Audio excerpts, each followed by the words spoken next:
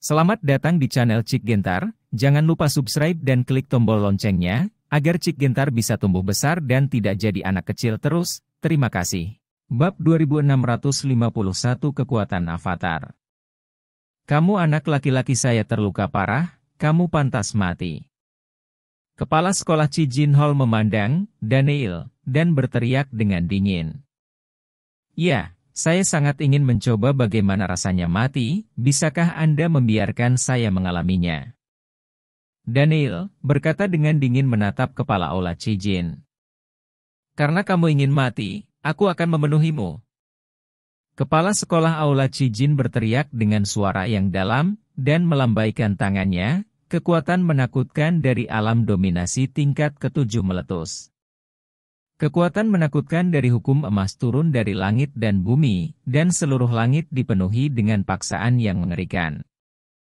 Gengsi ini sangat berat, dengan rasa penindasan logam, dan juga mengandung aura yang tajam dan mematikan. Sepertinya dunia akan hancur dalam sekejap. Tapi, Daniel, ini terlihat sangat tenang, wajahnya acuh tak acuh, tanpa ekspresi ketakutan sama sekali. Desir Daniel, ini melambaikan tangannya, dan pistol emas di tangannya meledak, langsung tergantung di atas kehampaan, bersinar dengan cahaya. Segera, Daniel, melambaikan tangannya dan membuat gerakan menghisap ke arah Xuan Jinshan. Bum bum bum. Dalam sekejap mata, terdengar semburan suara gemuruh dari Gunung Suanjin, dan kemudian pemandangan yang luar biasa muncul. Saya melihat sejumlah besar sinar keemasan muncul dari Gunung Suanjin, dan semua sinar keemasan ini menyatu menuju Daniel. Saat cahaya keemasan terus muncul dari Gunung Suanjin, warna emas asli Gunung Suanjin memudar dengan cepat, seolah-olah telah memudar. Dan semua ini karena semua kekuatan emas di Gunung Suanjin diserap oleh Daniel ini. Melihat pemandangan ini, apakah itu Lai Zentian atau kepala Ola Cijin, ada tatapan tumpul dan kaget di mata mereka. Cahaya keemasan di seluruh langit muncul dari Gunung Suanjin, dan kekuatan emas di Gunung Suanjin sepenuhnya diserap oleh Daniel. Lalu, Daniel, ini melambaikan tangannya, dan semua kekuatan emas yang diserapnya dari Gunung Suanjin dituangkan ke dalam senjata emas itu. Tidak ada yang tahu berapa banyak kekuatan emas yang ada di seluruh Gunung Suanjin, juga tidak bisa dibayangkan. Sekarang semua kekuatan ini telah memasuki senjata emas, yang menunjukkan betapa mengerikannya kekuatan yang terkandung dalam senjata emas. Terdengar suara gemuruh yang berasal dari senjata emas itu, cahaya keemasan yang menyilaukan keluar dari senjata emas itu. Sebuah kekuatan yang mengejutkan dilepaskan dari pistol emas, menekan kekuatan penguasa Ola Jin untuk mendominasi dunia. Pistol emas menghancurkan langit. Hancurkan. Daniel berteriak dingin, dan dengan lambaian tangannya, pistol emas itu ditembakkan langsung ke kepala Ola Jin. Gemuruh. Detik berikutnya, serangkaian raungan yang menghancurkan bumi terdengar. Tombak emas itu seperti anak panah tajam yang mengendarai angin dan ombak, menembus semua rintangan dan meledak ke arah kepala Ola Cijin. Kepala sekolah Aula Cijin menyaksikan tombak emas itu meledak ke arahnya, dan mengeluarkan semua kekuatan hukum untuk melawannya. Tapi itu benar-benar hancur oleh tombak emas, dengan aura yang tajam, tombak emas itu tak terbendung menembus tubuh kepala balai Cijin. Kepala aula emas merah menatap dengan mata terbelalak, melihat ke bawah ke lubang besar di dadanya. Dengan ekspresi kusam di wajahnya, dia menatap Daniel dengan ekspresi tidak percaya. Boom! Detik berikutnya, sinar cahaya keemasan yang tak terhitung meletus dari tubuh kepala aula emas merah. Seluruh tubuh langsung hancur dan berubah menjadi kehampaan.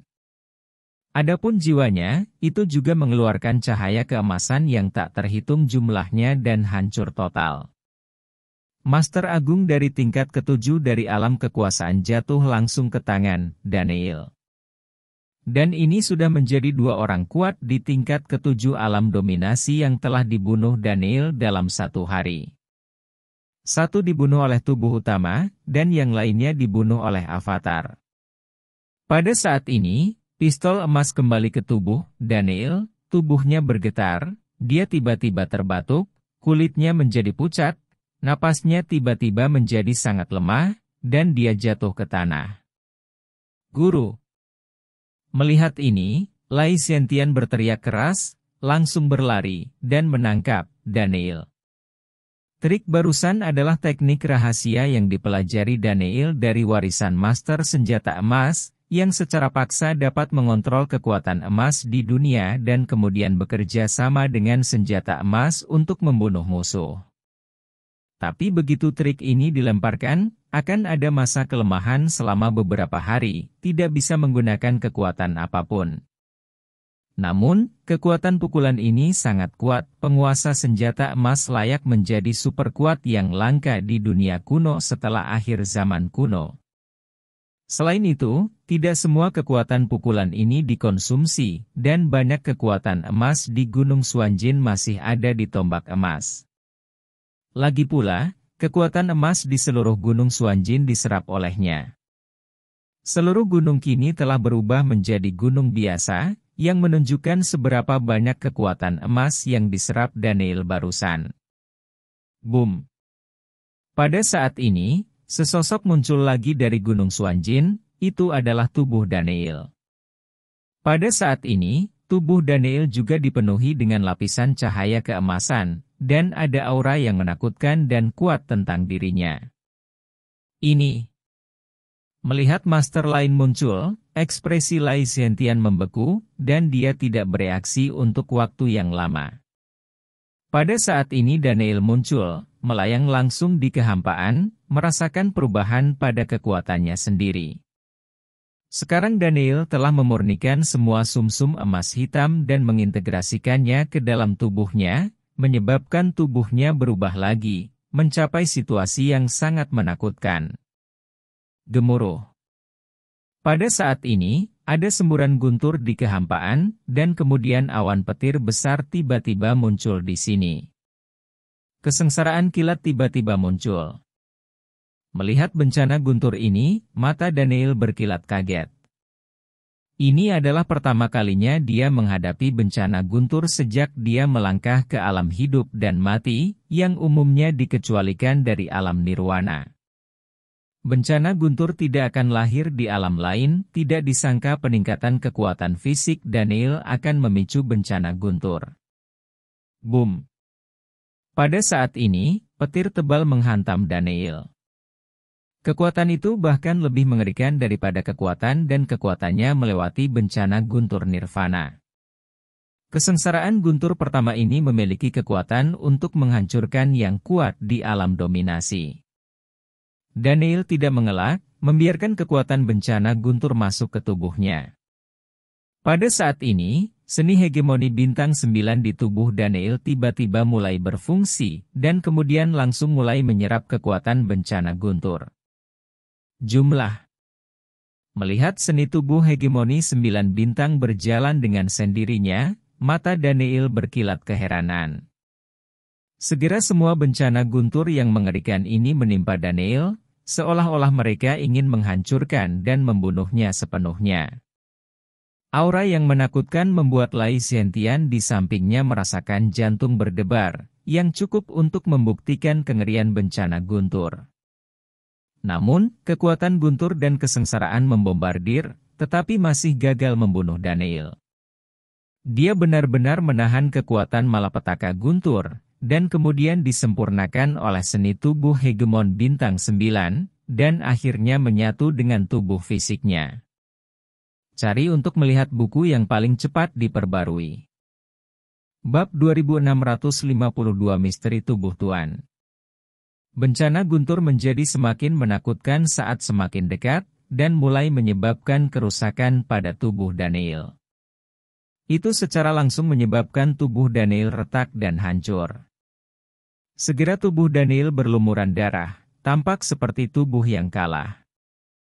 Meski begitu, Daniel masih mengatupkan gusinya erat-erat, dengan sorot mata yang sangat tegas, dan terus menahan gemuruh bencana guntur. Gemuruh. Saat petir terakhir menyambar.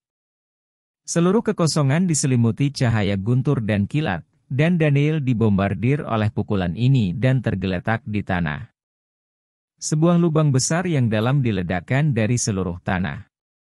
PFFT Daniel terus memuntahkan darah dari mulutnya, wajahnya sangat pucat, nafas di tubuhnya kacau, dan lubang darah pecah di sekujur tubuhnya. Darah Yin Hong terus menyembur keluar, dan pukulan ini sebanding dengan pukulan kekuatan penuh oleh master tingkat keempat dari alam dominasi. Dengan kekuatan fisik Daniel saat ini, dia tidak bisa melawan sama sekali, dan langsung terluka. Jika bukan karena perlindungan bintang-bintang di tubuhnya, tubuh fisiknya sudah lama hancur berkeping-keping. Melihat ini, mata Lai Zentian penuh kelesuan, dan tiruan Daniel juga mengerutkan kening. MMP, bagaimana kesengsaraan kilat ini bisa begitu menakutkan? Saat ini, aku sengaja ingin membunuh Lauzu. Daniel berbaring di lubang yang dalam, mengeluh di dalam hatinya. Wah, ini adalah malapetaka petir tubuh fisik, yang bahkan lebih mengerikan daripada malapetaka guntur negara nirvana. Tidak banyak orang di seluruh dunia kuno yang dapat memicu malapetaka guntur tubuh fisik. Long Qian berkata dengan suara yang dalam. Tidak hanya di dunia kuno, tetapi bahkan di dunia kuno, hanya ada segelintir orang yang dapat menimbulkan bencana guntur dengan tubuh mereka. Siapa pun yang dapat melakukan ini akan menjadi seniman bela diri terbaik di masa depan. Saat ini, Heaven Devouring Warcraft berkata, Daniel berjuang untuk bangkit dari lubang pada saat ini, dia berlumuran darah dan terlihat sangat menderita. Boom! Pada saat ini, raungan lain datang dari kehampaan. Tidak, apalagi. Daniel tercengang, dan matanya menyapu ke arah langit. Pada saat ini di langit berbintang, sebuah bintang yang menyilaukan tiba-tiba muncul. Bintang ini sangat menyilaukan di siang hari bolong, bahkan sinar matahari pun sepertinya tidak mampu menghalangi cahaya bintang tersebut. NB Hal, eh, Melihat bintang-bintang yang tiba-tiba muncul, Daniel tiba-tiba merasa jantungnya sedikit berdenyut. Setelah itu, seberkas cahaya biru bintang dilepaskan dari bintang, yang langsung mendarat di tubuh Daniel, dan seluruh tubuhnya diselimuti cahaya bintang. Pada saat ini, Daniel merasakan gelombang energi murni, agung, dan kuat mengalir deras ke dalam tubuhnya. Energi ini dengan gila-gilaan membasuh tubuhnya, memungkinkan Daniel pulih dengan cepat dari luka yang disebabkan oleh bencana guntur yang baru saja dideritanya. Pada saat yang sama, tubuh fisiknya sepertinya mengalami semacam transformasi. Energi bintang ini sepertinya melakukan semacam pembaptisan khusus padanya. Pada saat ini, Sepotong informasi tiba-tiba membanjiri pikiran Daniel dari seni hegemoni Jiusing, dan dia duduk bersila di tanah. Seluruh tubuh dibaptis oleh kekuatan pancaran bintang-bintang, dan pada saat yang sama mencerna informasi yang dibawa kepadanya oleh seni hegemoni Jiusing. Setelah waktu yang tidak diketahui, tubuh fisik Daniel benar-benar dipenuhi dengan energi bintang-bintang, yang mengandung kekuatan tertinggi. Seluruh tubuh fisik telah mengalami perubahan total, menjadi sangat jernih. Desir Segera energi bintang ini menghilang, dan bintang yang menyilaukan itu juga menghilang ke langit berbintang. Mata Daniel tiba-tiba terbuka, tatapan tajam melintas di matanya, dia berdiri dan mengepalkan tinjunya. Boom! Raungan ledakan datang dari tubuh Daniel, dan kekuatan mengerikan itu langsung meledak. Kekosongan di sekelilingnya langsung terdistorsi dan hancur, dan kekuatan yang memancar dari tubuh fisik ini saja menghancurkan kehampaan itu. Dapat dilihat betapa mengerikannya tubuh fisik Daniel sekarang. Sel-sel tubuh di tubuhnya bersinar dengan cahaya biru bintang, dipenuhi dengan kekuatan yang tak tertandingi, dan tubuhnya telah mengalami transformasi total. Tubuh disucikan, sembilan kesengsaraan telah datang, dan sembilan bintang telah dibaptis untuk menjadi hegemoni. Orang yang berbicara pelan di mulut Daniel. Ke-16 kata ini adalah informasi paling kritis yang dibawakan oleh seni hegemoni bintang 9. Itu juga membuat Daniel memahami alasan bencana guntur dan pembaptisan kekuatan bintang-bintang. Sejak Daniel mempraktikkan seni tubuh hegemoni bintang 9. Dia tahu bahwa hal terpenting dalam pelatihan seni tubuh hegemoni bintang 9 adalah membentuk tubuh hegemoni. Rumor mengatakan bahwa begitu seseorang memiliki tubuh hegemonik, seseorang dapat menghancurkan gunung dan sungai serta menghancurkan langit dengan satu kepalan tangan. Memiliki tubuh fisik yang paling kuat dan tidak bisa dihancurkan di dunia. Hanya saja Daniel tidak tahu bagaimana memiliki tubuh hegemoni dan apa arti mendalam dari tubuh hegemoni bintang sembilan itu, tapi kali ini dia memahaminya. Ternyata jika ingin memiliki tubuh super, Anda harus melalui ujian tempering dari sembilan bencana fisik. Dan setiap kali setelah melewati ujian bencana fisik ini, tubuh fisik akan menerima baptisan energi bintang seluruh tubuh, sehingga tubuh fisiknya dapat mencapai kondisi paling sempurna dan mengalami transformasi. Sebanyak sembilan bencana guntur fisik telah dialami, dan sembilan pembaptisan telah dialami. Mengumpulkan kekuatan sembilan bintang, hanya memiliki kesempatan untuk membentuk tubuh hegemoni dan mencapai titik pengudusan tubuh. Begitu tubuh hegemonik berhasil dibentuk, bahkan hanya dengan mengandalkan kekuatan tubuh fisik ini saja sudah cukup untuk menghancurkan seluruh dunia kuno, yang memiliki kekuatan tertinggi. Hanya saja tidak mudah melewati sembilan kesengsaraan fisik guntur ini.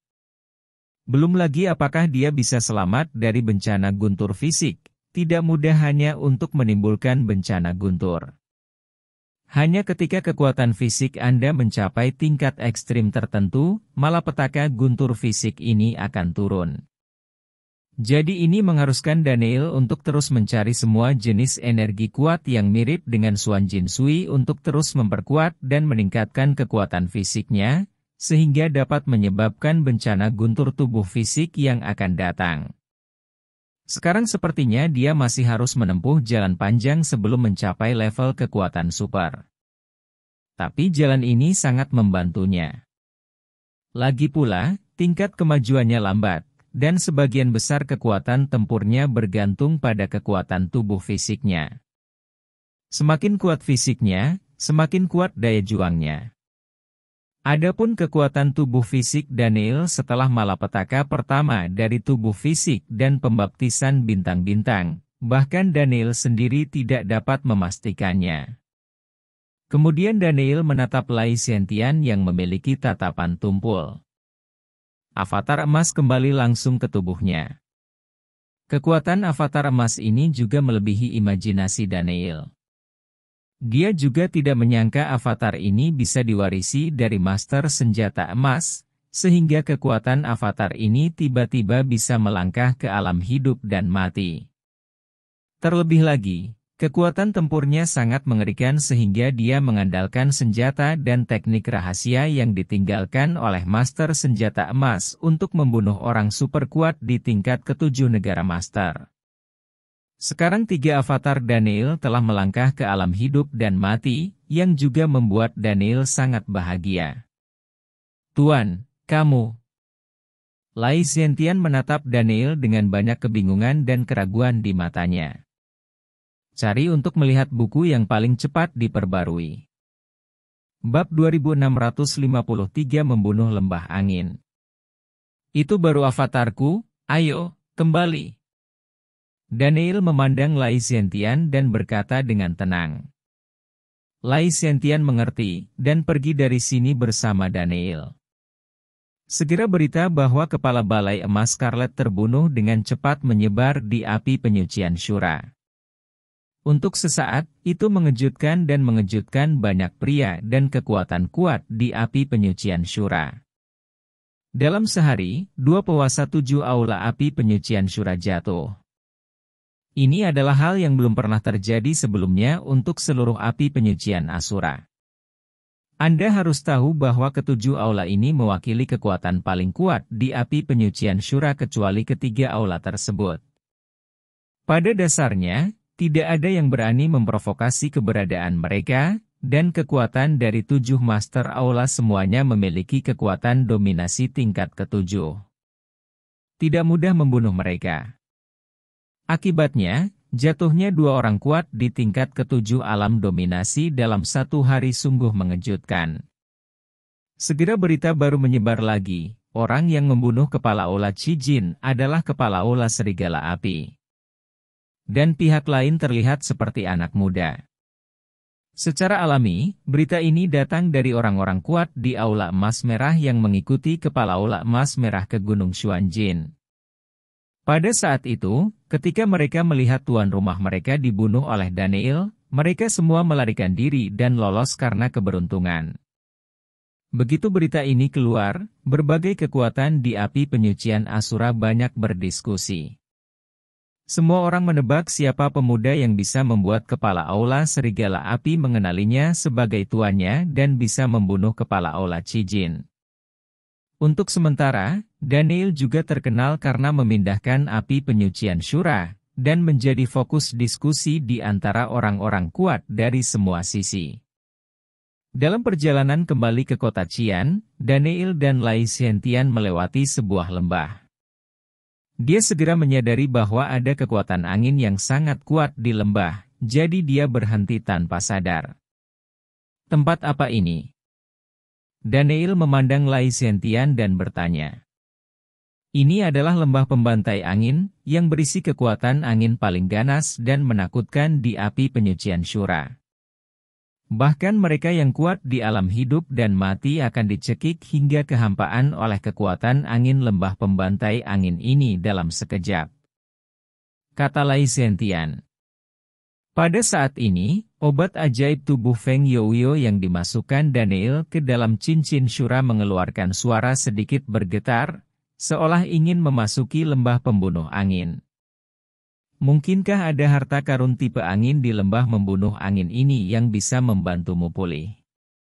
NB SP, Daniel diam-diam berpikir di dalam hatinya. Feng Yoyo ini juga terluka di akar obat ajaib ketika dia berada di lubang hitam angkasa, dan kehilangan banyak esensi.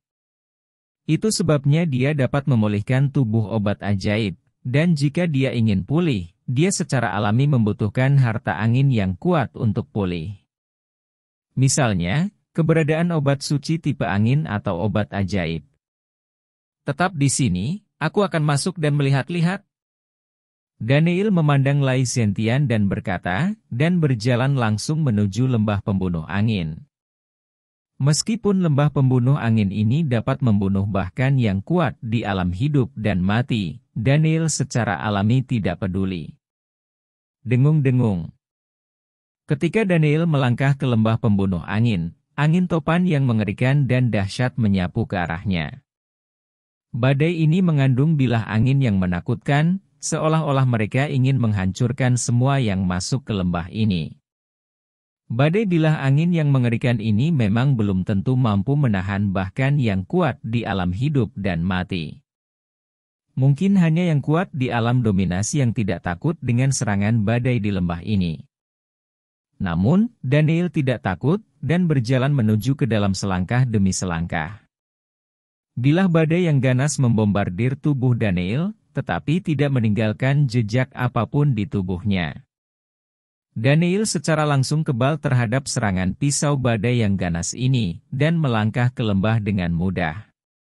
Pada saat ini, Daniel memperhatikan bahwa obat ajaib di tubuh Feng Youyo bersinar terang, seolah-olah ada semacam induksi. Daniel melepaskan tubuh Feng Youyo, dan segera obat ajaib Feng Youyo bergegas menuju tempat tertentu di lembah. Daniel menyapu langsung melalui matanya, dan segera menemukan buah spiritual yang mengandung kekuatan angin yang kuat dalam badai tornado besar jauh di dalam lembah. Kekuatan badai tornado ini sangat menakutkan, bahkan jika orang yang kuat di alam dominasi masuk ke dalamnya, dia dapat dengan mudah dicabik-cabik.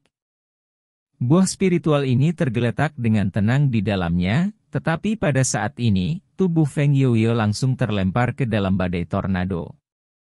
Badai yang mengerikan ini tidak mempengaruhinya sama sekali, tubuh Feng Yuyo tergantung di atas buah spiritual ini, dan mulai menyerap energi di dalamnya terus-menerus. Melihat pemandangan ini, Daniel sedikit bersemangat, energi angin yang terkandung dalam buah spiritual ini sangat kaya dan kuat. Diperkirakan Feng Youyo dapat kembali ke bentuk manusia setelah menyerapnya. Tapi melihatnya seperti ini, diperkirakan butuh setidaknya beberapa hari untuk menyerap energi di dalamnya. Jumlah saat ini, Daniel mengerutkan kening, dan dia menemukan bahwa ada orang lain di sini. Daniel langsung pergi ke tempat lain di lembah, dan segera dia melewati badai yang mengerikan dan melihat sesosok tubuh. Ini adalah seorang pemuda dengan tubuh bagian atas telanjang, saat ini pihak lain sedang duduk bersila di tengah badai yang mengerikan. Otot-otot seluruh tubuhnya seperti tulang baja dan besi, dan pada saat ini, bilah angin yang mengerikan jatuh ke tubuhnya. Terus-menerus memotong dan mencabik-cabik kulit dagingnya, sementara tubuh pihak lain penuh dengan gas hitam. Gas hitam ini terus menyembur keluar dari lukanya, lalu lukanya mulai sembuh, dan akibatnya, aura fisiknya menjadi lebih kuat. Jelas orang ini juga mengeraskan tubuhnya dengan bantuan tenaga angin di sini, dan dia juga seorang kultivator tubuh. Dan menurut pengamatan Daniel, tubuh fisik lawan juga telah mencapai level yang sangat tinggi. Karena serangan bilah angin di area tempatnya berada mungkin tidak dapat menahan bahkan kekuatan hidup dan mati tingkat ketiga atau keempat. Namun pihak lain mampu melawan dan tidak dihancurkan olehnya, yang menunjukkan kekuatan tubuh fisiknya. Bum bum bum. Pada saat ini, terdengar suara gemuruh dari tubuh pemuda itu, dan kemudian kekuatan fisik yang mengerikan keluar dari tubuhnya, dan matanya tiba-tiba terbuka. Pukulan diledakkan, dan ledakan segera terdengar. Semua bilah badai di kehampaan diterbangkan oleh pukulannya. Dan pukulannya adalah kekuatan fisik murni, dan dia tidak menggunakan kekuatan spiritual. Tepuk tangan.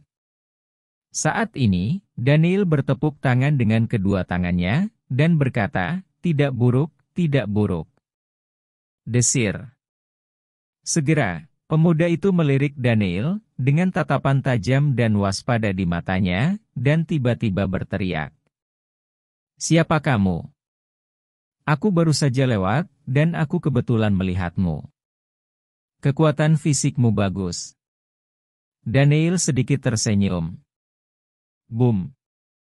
Mata pemuda itu dingin, wajahnya dingin, dan dia memancarkan aura yang menakutkan dengan lompatan yang tiba-tiba, dia menembak ke arah Daniel. Satu pukulan diledakan dengan kuat, Kekuatan pukulan ini cukup untuk membunuh orang kuat di tingkat keempat hidup dan mati, dan ini hanya kekuatan fisiknya. Cari untuk melihat buku yang paling cepat diperbarui. Bab 2654 Membunuh Langit Ledakan Menghadapi serangan pemuda itu, Daniel memblokir pukulan lawan hanya dengan lambaian tangannya. Pada saat yang sama, Kekuatan tubuh fisik yang kuat menyembur keluar dari telapak tangan Daniel, langsung mengenai pemuda itu berulang kali. Dampak yang kuat membuatnya menginjak tanah untuk membuat lubang. Sungguh kekuatan fisik yang kuat. Pria muda itu memandang Daniel dengan ekspresi kaget di matanya. Dia mengolah tubuh fisik, sehingga dia bisa melihat bahwa kekuatan yang baru saja diledakkan oleh Daniel adalah kekuatan fisik murni. Tapi itu benar-benar menghancurkan kekuatannya, dia merasa bahwa kekuatan fisiknya benar-benar merupakan celah antara seorang anak dan seorang raksasa di depan Daniel. Aku tidak punya permusuhan terhadapmu. Daniel berkata dengan ringan. Hai, namaku Shitian. Pria muda itu memandang Daniel dan berkata, Nama ini mendominasi, tidak buruk. Daniel sedikit tersenyum dan berkata, Namaku Daniel. Ini pertama kalinya aku melihat seseorang yang kekuatan fisiknya jauh lebih kuat dariku. Shitian ini memandang Daniel dan berkata, Aku tidak menyangka akan bertemu dengan seorang seniman bela diri yang mengolah tubuh fisik di sini, dan tubuh fisikmu juga sangat kuat. Kata Daniel. Aku pikir begitu sebelum aku bertemu denganmu, tetapi pukulan tadi membuatku tahu bahwa ada langit di balik langit, dan ada orang di luar manusia. Dibandingkan denganmu, pencapaian fisikku tidak ada artinya sama sekali. Sitian berkata dengan suara yang dalam. Jangan putus asa, tubuh fisikmu akan menjadi lebih kuat di masa depan. Karena kita semua adalah kultivator, izinkan saya mengundang Anda untuk minum. Itu bisa dianggap sebagai berteman. Shitian ini memandang Daniel dan berkata, Bagus. Daniel mengangguk, Feng Youyo ini sangat aman bahkan di tengah badai tornado yang dapat membunuh yang kuat di alam dominasi.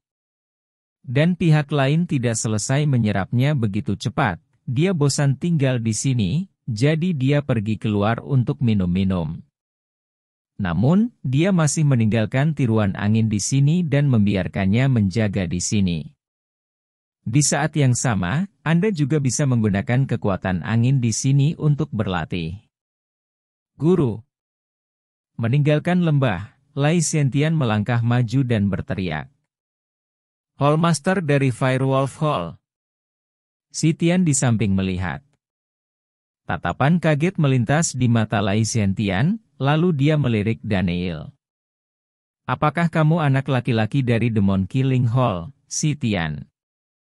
Lai Sentian menatap pemuda itu dengan heran dan berkata, Tepat, Si Tian mengangguk. Jadi kamu dari Demon Slaying Hall. Daniel berbicara. Tuan, mengapa kamu bersama? Lai Sentian bingung. Aku baru saja bertemu dengannya di lembah. Kamu kembali dulu, aku akan minum dengannya. Daniel memandang Lai Zentian dan berkata, yang terakhir mengangguk dan pergi dari sini. Kamu sebenarnya Master Hall Master Firewolf sepertinya statusmu sangat tidak biasa. Sitian menatap Daniel dan berkata, Bukan apa-apa, itu hanya identitas, ayo pergi, pergi minum. Daniel sedikit tersenyum. Kemudian mereka berdua pergi dari sini dan datang ke sebuah bar di kota terdekat. Hei, bukankah ini saudara kedua kenapa kamu punya waktu untuk minum di sini? Tepat ketika Daniel dan Sitian sedang minum dengan penuh semangat, suara dingin tiba-tiba terdengar. Segera, sekelompok orang masuk, dipimpin oleh seorang pria berambut panjang dan mengenakan baju besi kulit hitam.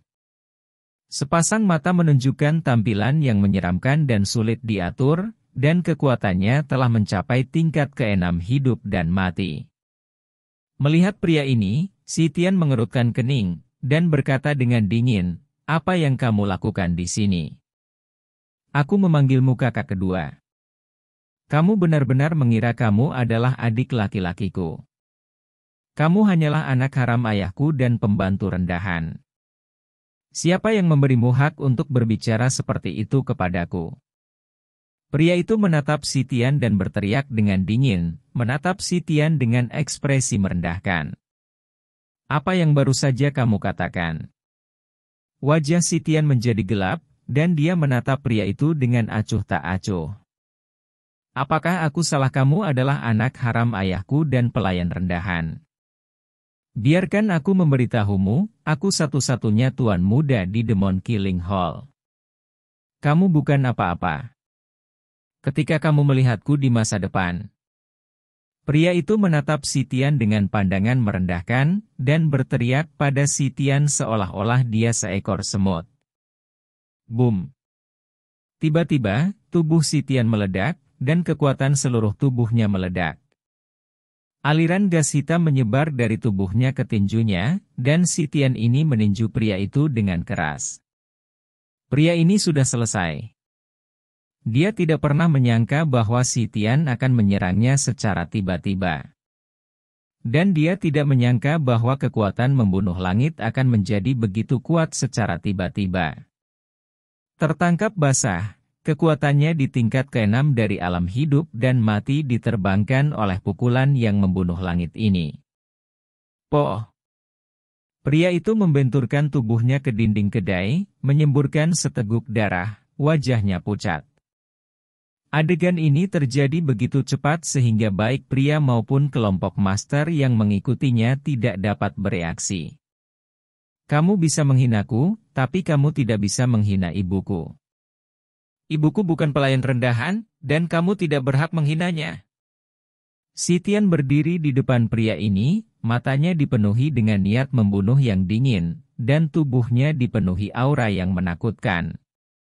Guru Saat ini, orang yang dibawa pria itu bereaksi dan membantunya berdiri. Pada saat yang sama, salah satu pembangkit tenaga listrik di tingkat kedelapan hidup dan mati memandang Sitian dan berteriak. Shitian, kamu sangat berani. Kamu berani menyerang Tuan Muda. Apakah kamu tidak takut Tuan Aula akan menghukummu atas kejahatanmu? Apa saja? Sitian berkata dengan dingin. Sialan nak, aku tidak menyangka kamu begitu kuat. Sepertinya kamu menyembunyikan kekuatanmu. Pria itu menatap Sitian dengan tatapan dingin di matanya, lalu berkata dengan dingin, bunuh dia. Tuan, ini. Mendengar kata-kata pria ini, corak kelompok ahli dari Demon Killing Hall sedikit berubah. Meskipun Sitian hanyalah anak haram, mereka tetap tidak berani membunuhnya seperti ini, ketika kepala aula menyalahkannya, mereka akan tamat. Apa jangan dengarkan perintahku, ayahku, maka aku akan memberitahumu, Katakan saja bajingan ini ingin menyerang dan membunuhku, lalu dia dibunuh, dan ayahku tidak akan menyalahkanmu saat itu. Pria itu memandangi sekelompok bawahan dengan dingin dan berteriak. Ya, Tuan Muda. Sekelompok pria kuat mengangguk, dan mereka semua menatap Sitian dengan niat membunuh yang menakutkan. Ayo, bunuh jika kamu mau, aku, Sitian, U200B U200 tidak akan pernah takut? Sitian berteriak dengan wajah sedingin es, matanya dipenuhi aura dingin dan suram, tatapan dingin, dengan gas hitam menempel di sekujur tubuhnya, seperti dewa iblis. Segera, sekelompok orang yang dibawa oleh pria itu semuanya menyerang Sitian, yang langsung mengacungkan tinjunya dan meledakkan mereka dengan paksa. Pada saat ini, Sitian juga meletus dengan kekuatan yang menakutkan, niat membunuh yang melonjak keluar dari tubuhnya, dan matanya berubah menjadi merah darah. Cari untuk melihat buku yang paling cepat diperbarui. Bab 2655 Bang bang bang Serangkaian suara pertempuran sengit terdengar. Sitian menderita luka serius, tetapi beberapa orang di sisi lain terluka parah secara langsung olehnya. Ranah membunuh langit ini hanyalah tingkat keempat dari ranah hidup dan mati.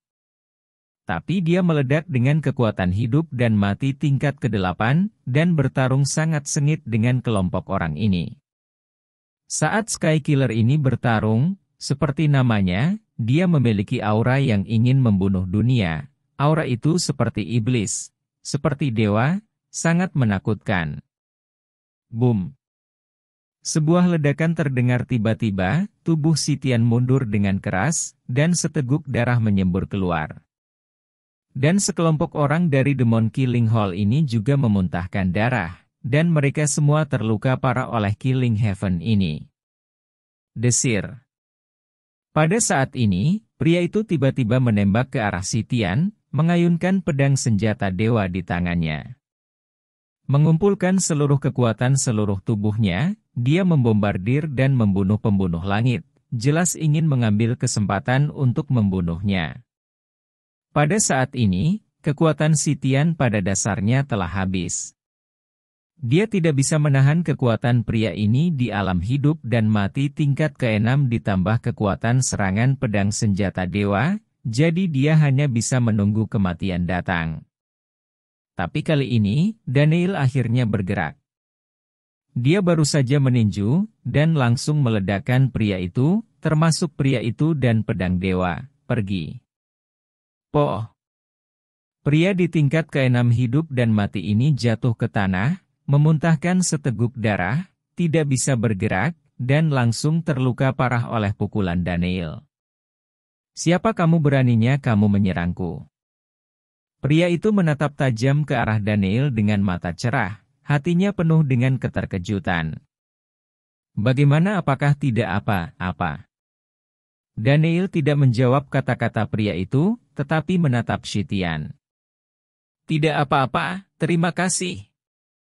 Sitian menyeka darah dari sudut mulutnya dengan tangannya, dan menggelengkan kepalanya. Bagaimana dia menghadapinya apakah dia membunuhnya? Daniel melirik pria itu, dan berkata dengan tenang. Mata sedingin es Sitian menyapu ke arah pria ini, dan berjalan langsung. Apa yang akan kamu lakukan aku dapat memberitahumu bahwa jika kamu membunuhku, ayahmu tidak akan membiarkanmu pergi, dan jalangmu, ibumu juga akan terlibat. Pria itu memandang Sitian dan awalnya ingin mengatakan pelayan murahan, tetapi melihat niat membunuh yang menakutkan di mata Sitian, dia dengan cepat menelan kata terakhir itu kembali. Jangan khawatir, aku tidak akan membunuhmu, kamu tidak pantas aku bunuh. Sitian berdiri di depan pria ini, matanya penuh dengan penghinaan. Ada sedikit penghinaan di mata pria itu saat mendengar kata-kata Sitian. Keluar. Sitian menendangnya keluar, langsung menendang pria itu keluar dari kedai minuman. Apakah dia kakak laki-lakimu? Daniel menatap Sitian dan berkata, Dia memang kakak laki-lakiku. Sayangnya, di matanya, aku hanyalah anak haram yang lahir dari ayahku dan seorang pembantu biasa. Saya telah diintimidasi olehnya sejak saya masih kecil, dan ibu saya menanggung intimidasi ibunya untuk saya. Jika ibuku tidak menyuruhku untuk tidak menonjolkan diri dan tidak menimbulkan masalah, Aku akan membunuhnya sejak lama. Niat membunuh yang dingin melintas di mata Sitian, dan dia berteriak dengan dingin. Kamu bisa mengeluarkan ibumu dari Demon Killing Hall. Dengan kekuatanmu, jika kamu ingin melindungi ibumu, itu seharusnya tidak menjadi masalah. Daniel menatap Sitian dan berkata, Ya, aku juga berpikir begitu. Ketika aku kembali kali ini, aku akan menemukan cara untuk membawa ibuku keluar dari balai pembunuhan iblis. Lagi pula, ayahku tidak menganggapku dan ibuku sebagai keluarganya. Sitian berkata dengan dingin. Kamu bisa datang ke Firewall Hall of Red Flame City saat itu? Kata Daniel. Terima kasih. Sitian memandang Daniel dan berkata dengan rasa terima kasih. Setelah minum dengan Sitian, Daniel kembali ke Firewolf Hall. Tuan, akan ada pertemuan di Seven House besok, menurutmu apakah kita harus pergi? Lai Sentian memandang Daniel dan berkata, Parlemen apa? Daniel bertanya. Diskusi tentang kristal darah di Gunung Tianluo. Kata Lai Sentian. Kristal darah? Mata Daniel menyipit. Kristal darah adalah sejenis par energi yang mirip dengan batu roh di Gunung Tianluo. Ini mengandung energi darah yang sangat kuat, yang lebih cocok untuk dimurnikan oleh orang-orang di api penyucian syura. Kristal darah dapat sangat meningkatkan kecepatan kultivasi seseorang, dan itu adalah harta langka di api penyucian syura, dan kristal darah ini hanya ditemukan di Gunung Tianluo. Sesekali, sejumlah besar kristal darah akan lahir di Gunung Luoshan pada hari ini. Pada saat itu, banyak orang kuat dari api penyucian Shura akan pergi ke Gunung Luoshan untuk merebut kristal darah. Namun, karena hari ini Luoshan memiliki batasan yang ditinggalkan oleh yang kuat di zaman kuno, hanya yang kuat di bawah tingkat dominasi yang bisa masuk, jadi setiap saat untuk mendapatkan lebih banyak kristal darah. Tujuh aula kita akan berdiskusi dan bersatu, dan lusa akan menjadi waktu kelahiran kristal darah di Gunung Tianluo, jadi besok mereka akan meminta untuk berkumpul bersama untuk berdiskusi. Kata Lai Zentian. Kalau begitu, ayo pergi. Kebetulan aku juga akan bertemu orang-orang di aula lain. Daniel sedikit tersenyum. Dalam sekejap mata, hari baru telah tiba. Pada hari ini, sebuah kota di api penyucian Syura tampak sangat hidup. Karena tujuh penguasa api penyucian Syura dan tujuh tuan aula semuanya berkumpul di sini. Di rumah terbesar di kota, kecuali aula serigala api, semua orang dari enam aula lainnya datang.